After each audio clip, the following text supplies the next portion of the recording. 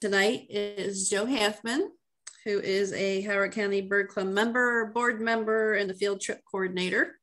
He's going to talk about um, his visits to Alaska. He's gone there nine times between 2000 and 2016 and uh, plans to do some more in the future. Uh, he's going to describe his experiences birding in Southeast Alaska, the Kenai Peninsula, Anchorage to Fairbanks, Nome, and the Seward Peninsula, Gambell, St. Paul Island, and the Aleutians to Attu. So without further ado, Joe, take it away. Okay, thank you very much, Mary. Okay, let's see. Can you see that? Not yet.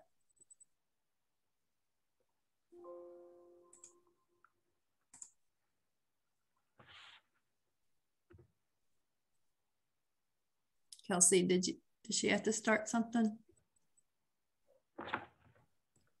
No, it, it should be good. Okay, it's showing share.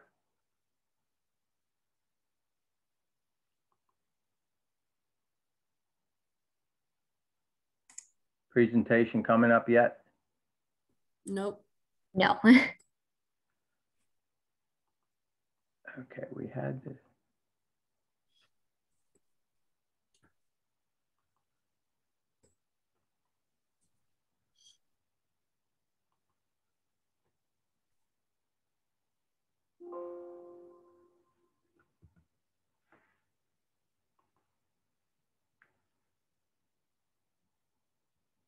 Worked earlier, so we know it can work. Yeah, I know. Let's try it this way. There we go. Something's Okay. happening. There you go. Thank you. I clicked on the minimize screen on my computer, so I went back to the one on the presentation. Okay, let me see if I can make this a full screen. F5. Is that better? It's good. Okay. Okay, well, thank you all. First, what I'd like to do is just give an overview of Alaska from the folks that haven't been there. Most people would fly into Anchorage, um, right above the Kenai Peninsula, or you could possibly fly into Fairbanks, north of there, or even take a cruise to southeastern Alaska.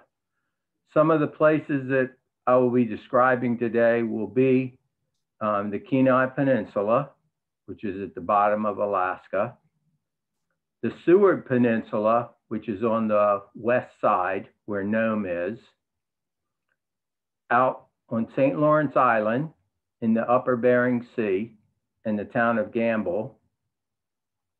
If you come down from there, you will see St. Paul Island, better known as the Pribilofs, and then all through the Aleutians, where you go out from um, the Aleutians, you'll pass Dutch Harbor, you get to Adak, which was the Navy base built in 1943 during World War II.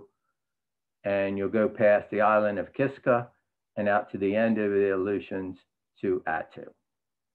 So I'll bounce around a little bit. I'll show a few pictures from these places and then we'll get right into the birds.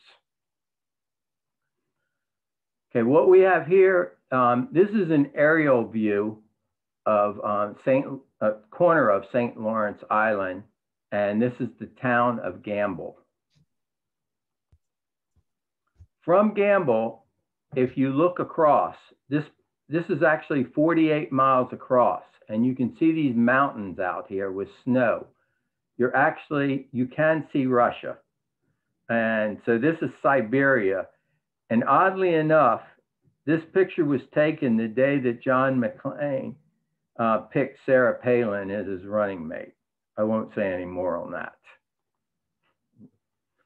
On Gambell, um, one of the places that uh, people spend most of their time birding are the boneyards. There are three main boneyards on there where mostly it's walrus bones and the remains of walrus, some whale and seal. And as you can see in the lower left-hand corner, the occasional human bones that are mixed in there in the boneyards. It's pretty much flat And with the, all these holes in there, you get um, migrants coming over from Asia. And this is one of the first places that they see. And they drop down into these boneyards and there's holes in there um, where the natives are digging for old ivory. And they will dig through this. And the birds like to go into the holes for cover. So you can walk around the boneyards and turn up a lot of rarities. This upper left-hand corner, this is um, from a walrus. And you can actually see this hole in the uh, walrus bone um, where it was actually shot by the natives. Then we'll go out to um, Attu at the end of the Aleutians. And this is the Attu Hilton. Um, Larry Balch and Attours, this is where the folks used to stay.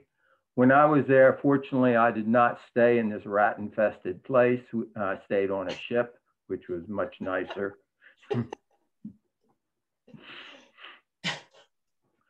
on um, Attu, um, if you're into history, it's pretty much amazing. Uh, the main picture here, this is Debris Beach, and you see all this leftover debris from World War II. At the time, it had the highest casualty rate in the war at the Battle of Attu. And this, um, on the lower left-hand corner, is a 105 millimeter howitzer shell that's still live. You find lots of munitions lying around. Uh, you could find guns, hand grenades, um, like this howitzer shell, and all kinds of other stuff. Like here are three uh, US uh, helmets just left there. This is an anti-aircraft gun at the upper uh, part that was um, actually installed after the Battle of Attu because in this area, the Japanese actually held it. And the US allowed the Japanese to come back and build the Peace Memorial here, which is at the top of Attu to all the soldiers that fought in this battle. One of the other places um, to visit um, is Adak, and this is the Navy base at Adak that has since been abandoned. Right now, there are only about 80 people left in the um, hundreds and hundreds of buildings that are on Adak. And then we have uh, St. Paul Island in the Pribilofs. If you've ever seen the Deadliest Catch show, uh, this is the main place where they would come in and bring their fish back. It's a much quicker, uh, a shorter ride for the boats to bring your fish back into Trident, which is the fish processing plant uh, in the Pribilofs, rather than have to go all the way down to the Aleutians to Dutch Harbor. On the Pribilofs are the largest group of um, where um, well, we have a Steller uh, sea lion here, but the northern fur seals, over 400,000 northern fur seals um, are on the island. And they have these walkways where you can walk above them, mostly for the scientists that are studying them. These are all crab pots. And since the island's flat, you can walk between the crab pots and you find um, lots of birds hanging out in the crab pots and perching on them. Now we'll get into more of the birds. Okay, this um, is an emperor goose that was um, on Gambell.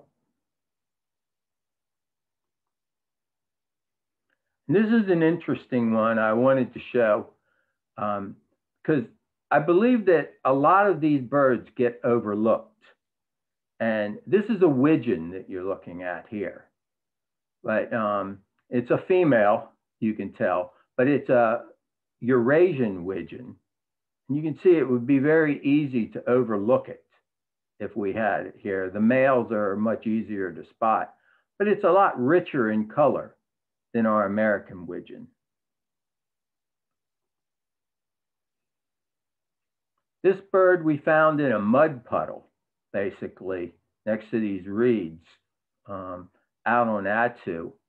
and it's a female, and you see this little spot at the base of the bill. It's a Baikal teal. Um, two beginning birders from Florida, two la older ladies, had studied their book. They saw this bird and took a picture of it. And when they caught up with Larry Balch, who was the guy who created Attours on Attu, and they asked him if a Baikal teal would be a rare bird.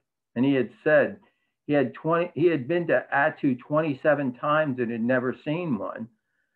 And then they showed him the picture in their camera. I won't repeat what he said, but um, he did go back and see the bird.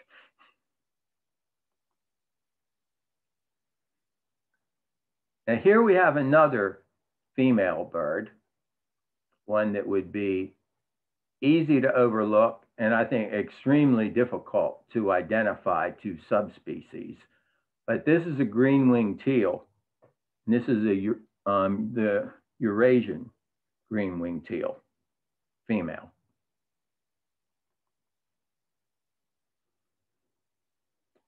All around Alaska and many other places, um, it's very easy to see uh, Barrow's golden eyes.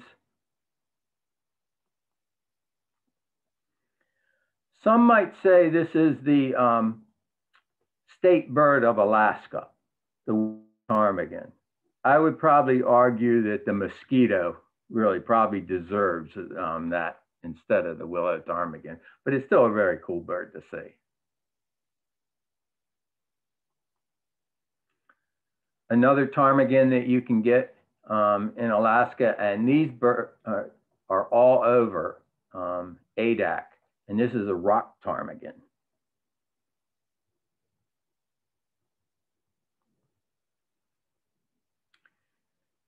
Here we're getting into our loons. And if you look at the base, you see it um, paler here uh, towards the rump. And this is an Arctic loon as compared to this handsome loon here, a Pacific loon. would be possible to see this in uh, Maryland, but not in this plumage. And one of the prizes that people really like is this very large loon, which this is a yellow-billed loon. One of the ones that I think someday we're going to get um, in Maryland at Centennial Lake.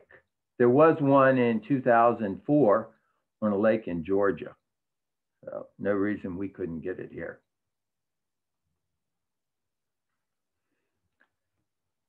Going through uh, the, the Aleutians, I um, got this Laysan albatross, and we actually had hundreds of them. At one point, we had about 800 flying around the ship. But the real prize that we were looking for, these are the, um, the same species, two different ages, of um, short-tailed albatross, which is um, a very large albatross. And here you can see we have three different species of albatrosses um, in the same picture. Um, black-footed here, Laysan, and here's a short-tailed. All these birds in the center, these darker birds, are northern fulmars and uh, the gull is a glaucous wing gull.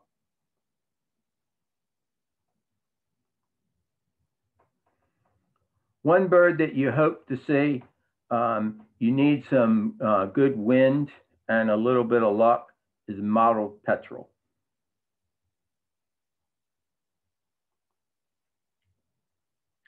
And a bird that is usually pretty easy to see at the right time is the short-tailed shearwater. Looks very similar to a sooty shearwater, um, not as silvery under the wing as our sooties. And sometimes you can get a lot of these um, short-tailed shearwaters. This flock we estimated was 1.5 million with 30 plus humpback whales uh, diving and feeding in there. Uh, it was one of the most impressive things I've seen in wildlife the whales would come up and blow, and from their blowholes, when they um, would blow up, um, frequently they would just spout and blow a shearwater farther up into the air. The shearwaters weren't hurt.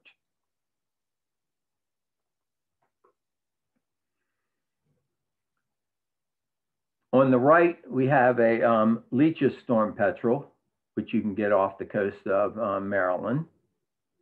And then this left-hand bird is a fork-tailed uh, storm petrel.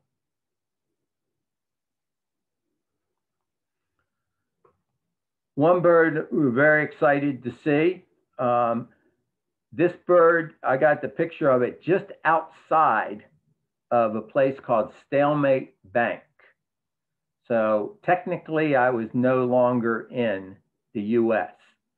So a person on this call, um, get, or actually two folks, uh, Gail Mackiernan and Barry Cooper, got the first ever in the ABA area. Congratulations to those folks. This one, we were able to um, confirm it in Russia. So we were about maybe a mile away from the US border.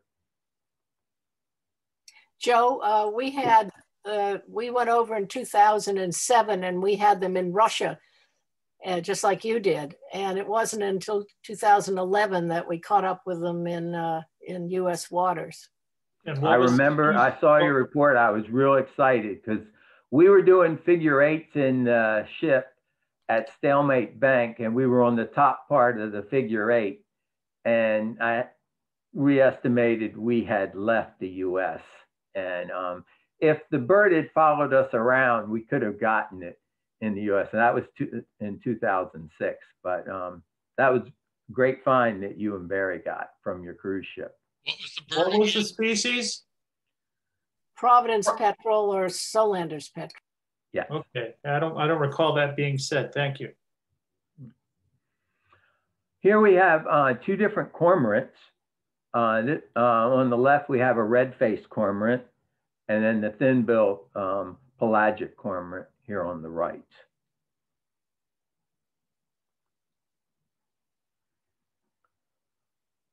One of our golden plovers, you can see blends in really well with this seaweed-like stuff.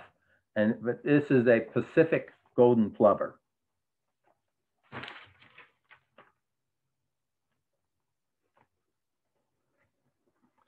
similar um, to a semi-palmated plover, but if you look closely, one of the things you'll see is this white stripe above the eye, and this is the common ringed plover.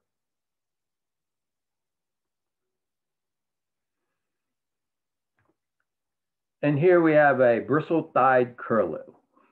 Um, usually a pretty good walk outside of Nome. If you go up the Kougarok Road to Coffee Dome, and the hill across from it. Uh, that's where they breed.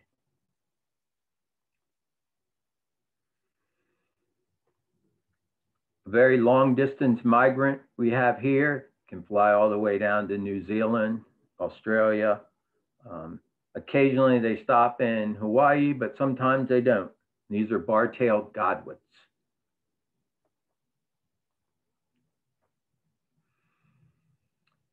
Here I put these in for a comparison. The bird on the right we have um, in Howard County, and this is a pectoral sandpiper. If you look at the one on the left, this is a sharp-tailed sandpiper, very similar.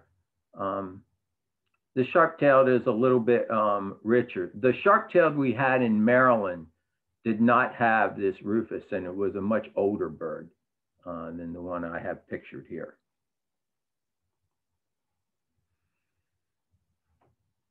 This bird is one that we always look for and frequently um, sanderlings that are uh, changing in plumage get misidentified as, but this is a redneck stint.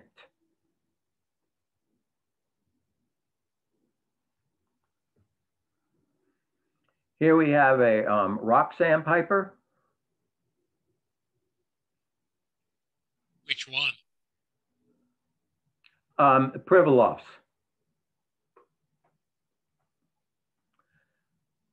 This bird, um, on a very snowy day in um, early June, um, a little bit of a blizzard out on Gambell showed up, and this is a jack snipe.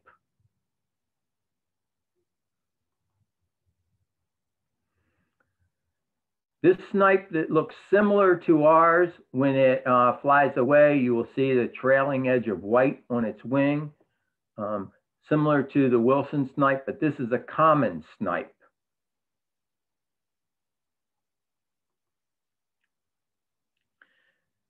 And here we have a red phalarope. Some of you may remember the red phalarope that Bill Hill found at Western Regional Park um, was in a transitional plumage, unlike this winter plumage one that we're seeing here.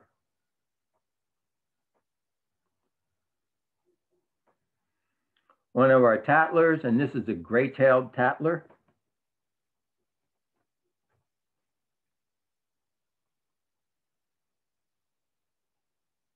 This medium to large size uh, shorebird is a common greenshank. And then here we have the spotted red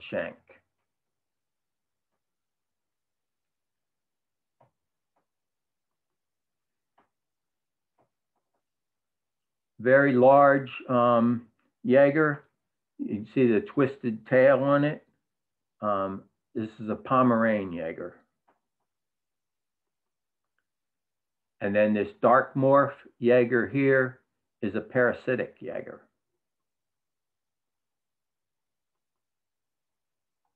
And this one probably a little easier to identify in this plumage. Jaegers can be very difficult if you don't have them in their breeding plumage, but this is a long-tailed Jaeger.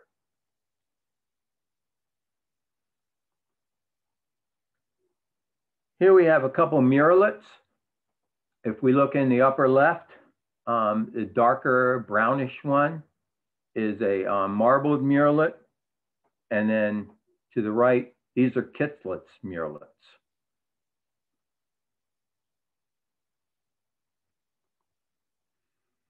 This group of ancient murrelets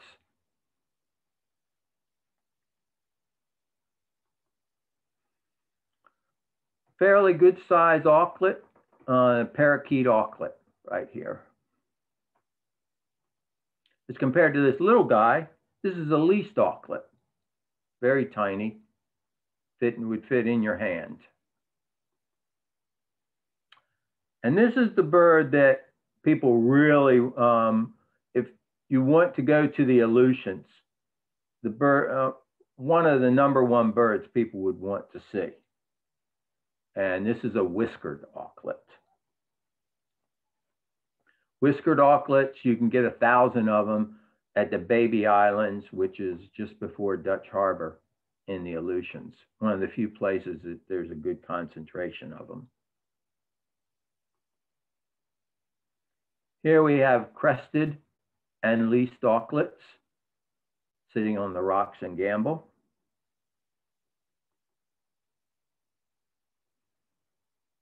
This looks, this gull looks something like the one that was at Sandy Point a few years ago. And this juvenile is a black-leg kittiwake.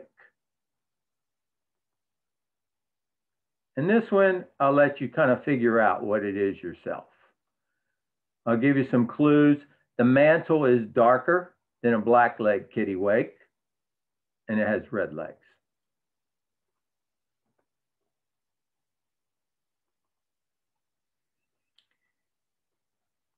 Here we have a gull that lost its name. Now it has a new name.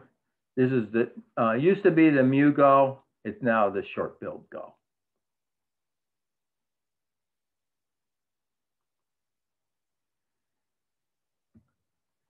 This gull is probably fairly easy to identify as a herring gull. But if you look at the rump, you'll see the rump is fairly pale. Um, the broad band on the tail. Um, out here um, between the primaries and the secondaries, um, much paler, and the kind of checkered pattern on the back. When you put all those together, you have a Vega herring gull. So the subspecies Vega herring gull. This is kind of a ratty looking gull, but still really cool, exciting to see. This is a slatyback gull.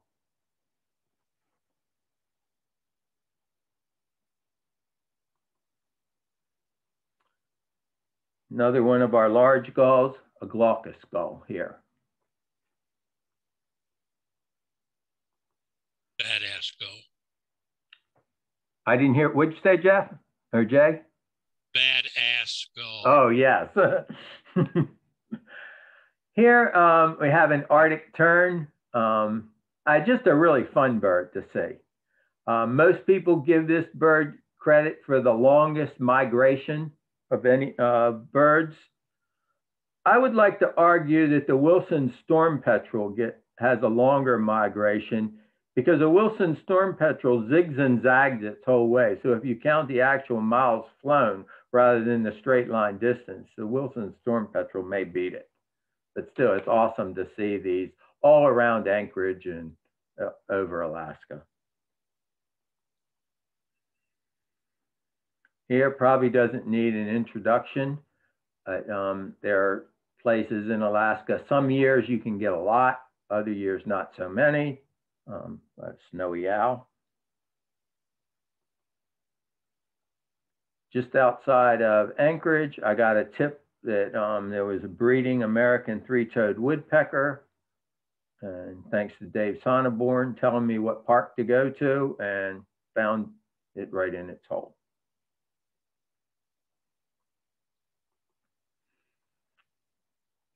This monster was out on um, Adak, had a few of them out there, uh, would hunt um, rock ptarmigans and other birds, basically anything it wanted to.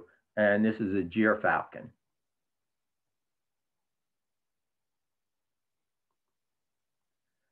And this is one of the rarest birds that I have seen in Alaska.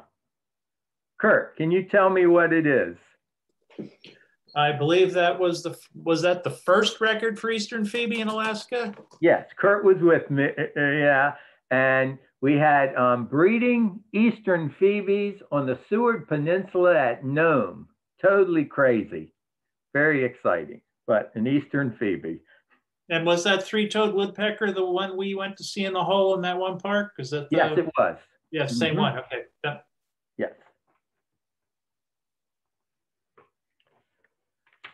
This was on a um, very bad weather day. The um, right around the time when the Jack Snipe, the earlier picture I showed, most of the people didn't want to leave the lodge because the weather was so bad.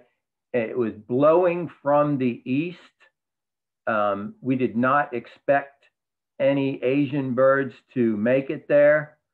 I went out and I found this brown shrike. Somehow it had flown across and it made it um, to Gambell. Maybe it was just on the other end of the island.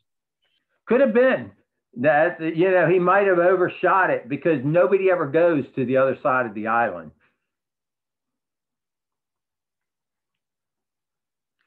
This was one of the first records of a red-breasted nuthatch in the Aleutians. Um, it, you can see how thin it is in the um, throat and uh, um, the upper breast where it had burned up all its fat reserve and just landed on our ship and would, would land on people. You feed it anything? Uh, yeah, we put out some suet and um, on the back of the ship, we had suet hanging in there. We had water and we had a bunch of trees that had been cut in Anchorage and we had strapped them to the back of the ship because we had the whole ship. So we had a little forest there. It was kind of like a joke, but we got a few birds like this um, nuthatch and orange crown warbler that actually landed in there, and even some seabirds that would hang around there, like fork-tailed storm petrels and Leach's storm petrels that would land on the ship, and they were more comfortable in our small forest. Here we have an American dipper. One of the old world warblers, a willow warbler. This is a common chiffchaff, the Siberian uh, variety of it. Some folks think it's a separate sub, uh, um, separate species. ABA hasn't recognized it yet, so it's common chiffchaff. Another um, warbler, it has a, um, migrates from the north to the south. This is an Arctic warbler. This picture I'll give is not mine. I borrowed it from a friend. Uh, Kevin Zimmer got this uh, bluethroat. And Kevin was the first person to um, find bluethroats uh, breeding outside of Nome back in the 80s. Here we have a northern wheatear.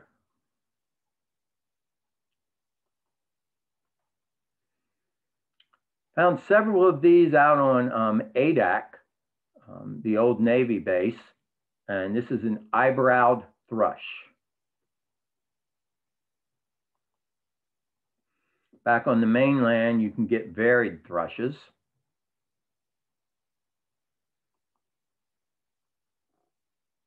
Is, this is an eastern yellow wagtail. And here we have the white wagtail. One of the rare pipits that we can get out, out and um, this was actually on Gambell, so pretty far out. And this is a red-throated pipit. You would get this one, or um, the other pipit is a Japonicus, a very dark American pipit. Very large waxwing we are looking at here. You can just see a little bit of the red undertail, the gray body, a Bohemian waxwing. A bird that you learn to ignore, which is kind of a shame um, because there's so many of them. Um, Lapland longspur, um, maybe the most common bird that you will see out on some of the islands. And here we have a snow bunting being photobombed by a sooty fox sparrow.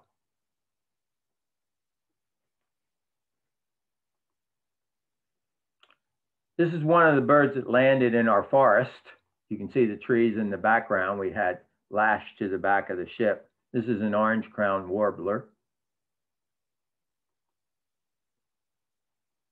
This bird threw me for a loop for a while when I first saw it. Um, and IDing it, uh, ju juvenile bird, but it's a white crowned sparrow. And I took this one in Denali.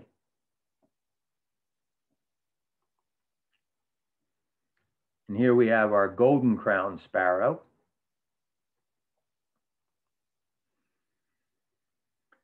And as a comparison, we have uh, song sparrow and fox sparrow. Some of the song sparrows that you get out in the Aleutians are just huge. They are as big as fox sparrows. They have a different song. They will work along the edge in the seaweed and picking um, right along the shore. Had a very good day for bramblings out on Adak or had about 175 in one day, which was an incredible count for the ABA area.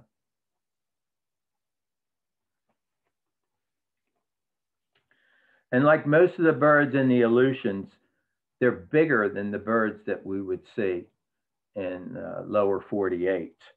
And this is a gray crown rosy finch.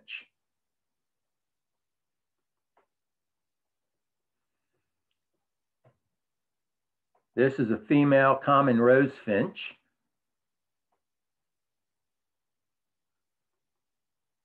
This one is still a species for now. I hope it stays that way, but you see how white it is. A hoary redpoll, hoary referring to the white color of it, like the hoarfrost. And this is a white-winged crossbill. And a trip to Alaska, it's always nice if you get lucky enough to see the great one uh, Mount Denali. Um, it's so big that it creates its own weather system. So most of the time it's going to be um, pretty fogged in. So it's nice to be able to see the entire mountain. And then I threw a few animals in at the end to um, just for fun. The tundra vole here. Um, I would watch the long-tailed Jaegers catch tundra voles and then uh, feed them to each other. Where was this? Uh, that tundra vole was out on Gambell, St. Lawrence Island. Arctic ground squirrel here. A snowshoe hare.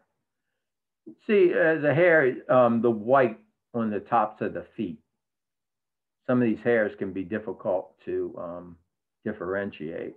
This one's a little easier. Obviously a moose here. And a black bear, which there's quite a few of them around Anchorage. I think I remember that bear. You do, yeah. Yeah, Uh, that was stolen on the road, wasn't it? Yeah, King, Kincaid Park. Yeah. Here we have a uh, grizzly bear, and you see the ones in Denali are pretty blonde, and they're um, fairly small. If if you get them along the coast, they're brown bears. A brown bear and a grizzly bear are the same species. It's just that if they're on the coast, then they get more salmon, they have more food, and the bears there are much larger. So the inland ones, like in Denali, are smaller. And this one's fairly big polar bear, and a caribou. These are Dall sheep. You can see um, either in Denali or the um, ride along the Cook Inlet. Very fun outside of Nome, a large herd of muskox. We're off of the Kenai Peninsula and even in the Aleutians now, uh, they're back, are sea otters. Humpback whale. These are orcas um, that were, these orcas were hunting northern fur seals. And this is the male with its six foot dorsal fin. And what the male would do, he would swim back and forth across the inlet, getting the fur seals all excited. The female would go underwater for a long way. The seals would see the male, and then we would watch the female would sneak in and grab a seal and bring it back, and then they'd share it. Good for them, but not too good for the seal. Where was that? Uh, that was in the Pribilofs, uh, St. Paul Island. This is a Steller sea lion and northern fur seals. And my last one is I had to show the, this dog here, the one on the left. His name is Scarface. And she is the one that won the 2004 Iditarod for Mitch Seavey. Took Mitch through a blinding snowstorm where he didn't even know where he was and his dog knew. And she kept on running and got to Nome and Mitch won the Iditarod. So when I saw Mitch Seavey out in Alaska, he hooked up the winner of the Iditarod for my wife and I and took let us ride on the sled and had Scarface pull us. And that was the last one I had. So thank you, folks. I'll try to answer any questions if anybody has any.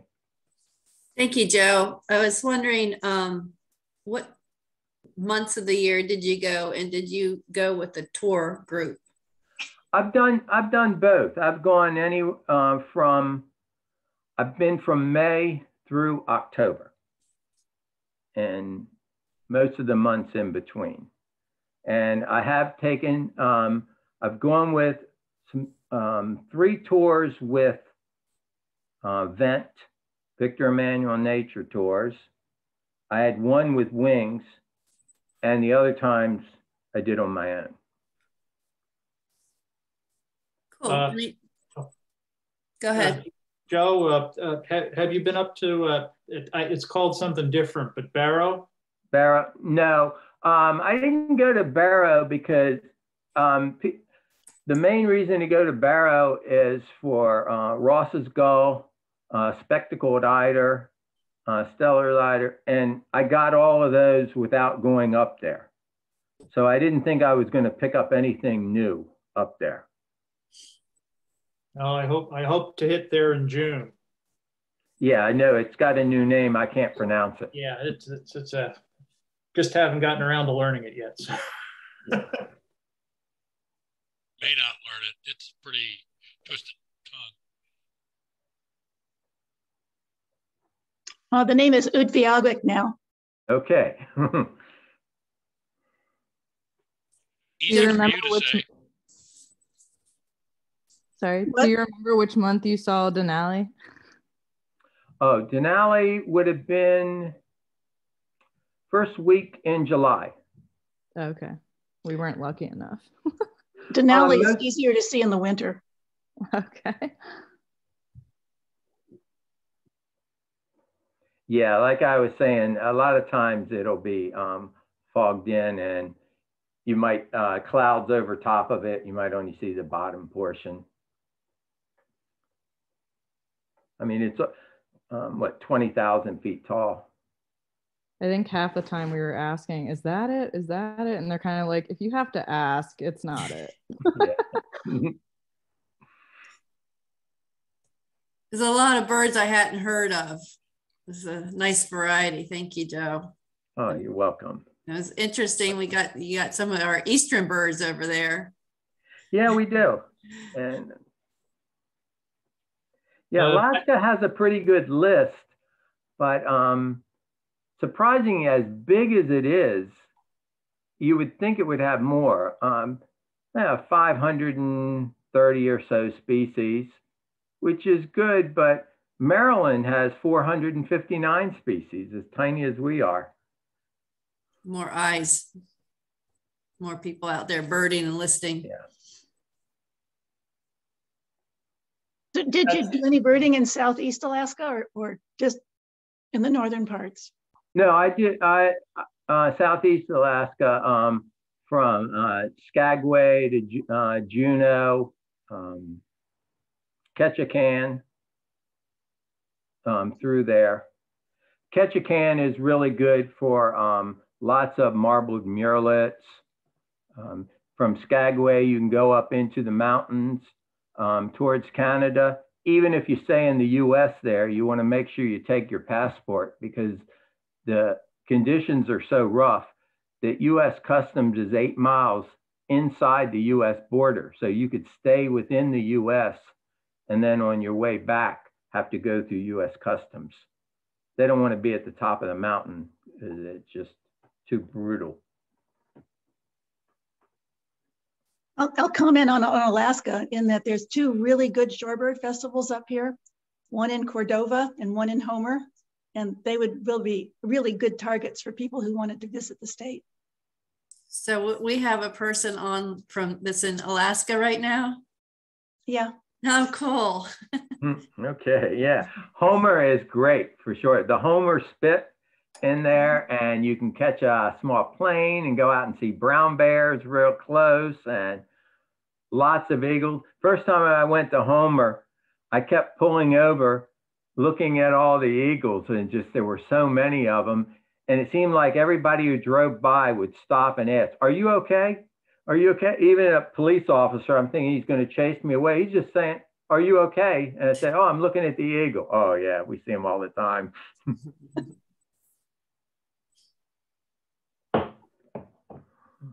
Joe, you can unshare your screen. Okay. Then we could see everybody. Thanks, Chuck.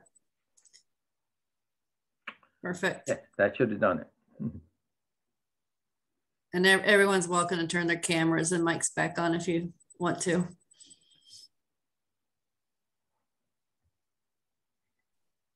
So was the bird that you were didn't identify that you were leaving up to us. Was it a, a red-legged kittiwake? Yes, it was. Yes. Mm-hmm. When we first saw that bird, there was a lady on the ship with us. That was the main bird she wanted to see. She had seen her life list world was 4,999 and she needed red-legged kittiwake for her 5,000th bird.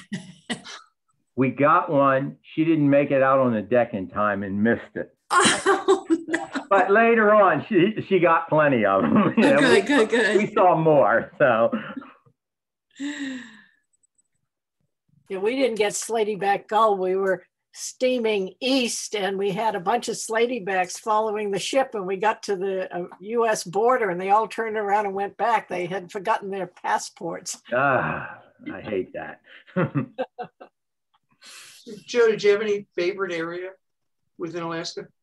yeah, I would say my favorite area is Nome. If I could just go Yeah. um, to one place in Alaska, it would be Nome. The only place I would put ahead of Nome in the world would be South Georgia Island. Yeah. What is it about Nome that you like? Nome, um, I mean, you got a lot of variety. I mean, it's wide open. Um, very interesting birds from, I mean, Aleutian terns, lots of songbirds, um, really cool mammals, uh, muskox. Blue The condition, uh, I mean, there's only really one place to stay in um, the Aurora Hotel. I wouldn't recommend any place but that. But um, if you can get a room at the Aurora, and then there are three main roads that you drive out. Uh, and each one is about 70 miles or so. You drive out and back. And if you do, uh, when you go to Nome, what I would uh, do when I would drive it on my own, I would um, buy two cans of Fix-A-Flat. and you definitely want to take along some bear spray. And uh, actually, the mayor of Nome at one point gave me his weapon to take. I just put it on the back seat of the car I rented from him and left it there. But he thought I shouldn't go out in the wild without a weapon. Well, when I was in Alaska, they all laughed about the bear spray. I mean, that wouldn't be effective. Yeah, if the bear's charging you, I don't think they'd probably slow down. I think it would work if you if you're if you use it right and you spray it towards their feet and it would go up. I think it would stop them. I've heard um, most times I don't think you're going to need it, but it's better than wearing the bells. Well, 'cause the the bells bells- don't work. Right, The, the bells sound like a um, like a whistle pig, and then they might think you're ringing the dinner bell. Bear spray is pretty effective and probably the best thing to do is never go alone. Yeah. Mhm. Well, I didn't see any bears in Alaska. I was there for two weeks. Come back again, I'll show them to you. good. Okay. Sounds good. And we were walking on a trail where they said, there's no bears here. They're all down the river fishing. And I looked and there was a brand new track with the water seeping in it. And I said, we turn around and go back now. Never been a group larger than seven attacked. Five of us. So Pretty close. Yeah. Your Yeah. odds are really good that you'll be safe. yeah, I think so. Still, you know. It was So how long do you spend in Nome? Ask it again, Kristen. How long do you spend in Nome? As long as you Um, can. you would probably you need at least four days. Um, you got three three long drives, and usually people that when you go to Nome, then you can take a flight from Bering Air and fly out to Gambell. I see. But Safety Sound there at Nome is really a magnet for a lot of really interesting water birds. So. Yeah, that that's a great spot. Um, shorebirds and other. Uh, when I was there, like 20 minutes or an hour before, they had three great knots. A bird I still haven't seen. I think they get spectacle eider there once in a while. Yeah, I've had I've had it there a couple times. Mhm. What was that? Spectacle items. Oh, spectral, yeah. Yeah. So when are you going back? Probably not till the year after next because next year is booked up with trips that have been canceled over the last year and a half. and my daughter's wedding. Oh yeah. Oh, Very exciting. priorities. Yeah. Absolutely. So how'd you like the cliffs at St. Paul? Uh, I thought they were awesome. I mean, all of the um, the fulmars and um, you know kittiwakes and all the birds all over the cliffs, and then down below the cliffs there was a dead whale. We were watching Arctic foxes chew on this whale that washed up. And when,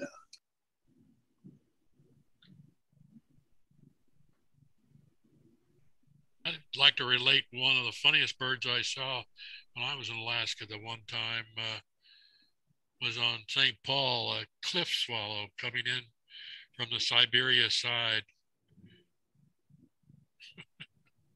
it's like your Phoebe. Hmm. Yeah, that's people that are out there a lot. When they get an eastern bird out there, get very excited. Paul Lehman had a like a willow flycatcher out on Gambell. He was more excited about that than the brown shrike. that just doesn't seem to make sense, but I understand. He, he got excited when we had a female Barrow's goldeneye uh, there at Gambell's. That was his first bird of that. So Yeah, if you do go to uh, St. Paul Island in the Pribilofs, um, rather than try to do it on your own, it's best to go through the native corporation because if you they will provide a guide out there, the transportation to get you around, and you can go into many areas that you would not be allowed to go on your own. yeah, that's that's actually the best tour deal in all of Alaska. Uh, if you fly out to St. Paul to add an extra day, I don't know what it is now. It was only like an extra three hundred dollars. In other words, there's a base of, of like a thousand for the airfare, and then a couple hundred dollars for each additional day. So you could extend it for a couple of days if you're out there, if you've Yeah. got the time. It, it was probably the best deal I thought of all the tours and trips that I ran into. Yeah, I thought they did a really nice job. I got stuck out there, which can happen. And since it was a mechanical on the plane, um, Air Alaska just covered our uh, expenses for the extra day. They Oh, covered the food, the staying out an extra day, and even the guide service on the Pribilofs. Nice. Nice. That's a pretty good deal. Yeah, What a hardship. you're right. They have some of the best birders leading those uh, uh, out there on St. Paul. I mean, Sula Gibson and some of the others. I, I don't know who all's out there these days, but really top-notch birders. Mhm. I mean, of course, Gambell has Paul Lehman and who knows who else is helping him at the time. So Yeah. So one year a field guides tour got stuck in Nome due to fog for like four or five days. I think field guides covered it, but they had to rearrange the trip a bit after that. well, you just run out the Safety Sound or someplace like that. I'm sure they did, yeah. I had a pair of Steller's eiders just came right by right there at the mouth of uh, Nome River. And I mean, we saw thousands of them out at Gambell, but you know, sort of nice just right there.